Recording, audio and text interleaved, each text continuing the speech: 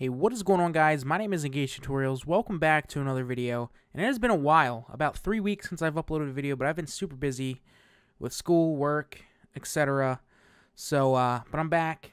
Hopefully more videos to come. I can't wait till Advanced Warfare comes out. But this is not a gaming video. This is a tutorial uh, on the car. And today I'm going to show you how to install something called a grill pinstripe. This is another popular option with uh, Subaru WRXs um, that I've noticed anyway. A lot of people have these actually. So uh, I got some from Auto City Imports. Once again, their link is in the description. They have a ton and ton of stuff for your car. It's not just Subaru either, so go check them out. But I got the white pinstripe, as you can see here. I decided to get white because I had the uh, white and black badge overlays, so I got the white pinstripe to accent it. And it actually looks really good. It puts a nice touch to the car, and when you stand back and look at it, it looks really good, which you will see by the end of the video. Real quick, in case you're wondering, Auto City Imports, the site I got this from, has so many different colors. It's kind of ridiculous.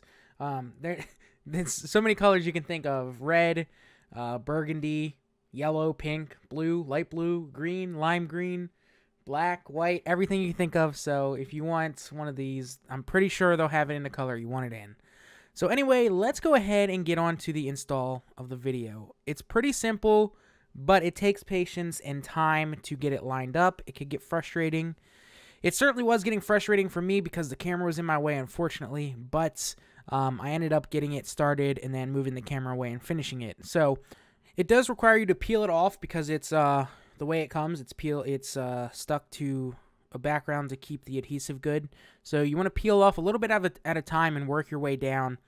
So what I did was actually try to get the hardest part was getting getting the edge up into the top right or top left of the grill.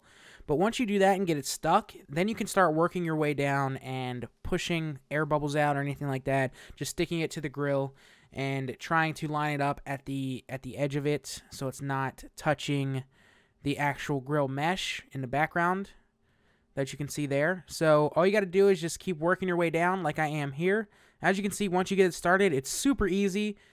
Like I said, all you got to do is make sure it's lined up and you'll be good to go. And don't be afraid to lift it up and restick it. Like as you can see there, I got a little part messed up on the grow mesh, so I had to eventually lift that up and restick it. It's very forgiving, so if you do have to do that, that is completely fine. So this is what it looks like so far. As you can see, we got a little bit extra, but we will take care of that later. It looks really, really good. I'll show you a backup shot in a minute, but uh, Here's the basic rundown of how it looks. Um, I eventually got it on the way I liked it. And once again, like I said, you can remove it and put it back on. It's very forgiving. So doing that a couple times won't hurt it. So now let's go ahead and remove the extra. This is an easy part. So all you want to do is grab a pair of scissors, pull it back a little bit, and cut as close as you can to the edge. As you can see there. And then you'll see that part that's sticking up. Just go ahead and press it down with your finger and once you get it in there, it should look great.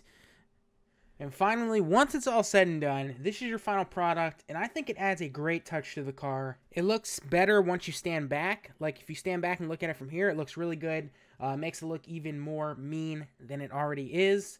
So, I personally really like it. It will really, really look good if you're doing, like, a black and red theme, and you have a red stripe down there. That'll look amazing. But it matches the emblems that I got, and everything. So the car is coming along nicely. And once again, huge thanks to Auto City Imports for um, these products. They're really, really great. And uh, yeah, if you need anything for your car, uh, performance parts, exterior modifications, interior, etc., you can go check them out. Their link is in the description once again. But yeah, that is it for this video, guys. I hope you did enjoy. If you did, please drop a like down below. And if you are still watching to the end, which I hope you are, it's been a long time since I uploaded a video. So if you are still watching, make sure to leave a comment down below uh, for the special word of the day. And today's special word of the day is PIN, P-I-N. So put PIN in the comments below, and I'll reply to you all. And I'll see you in another video.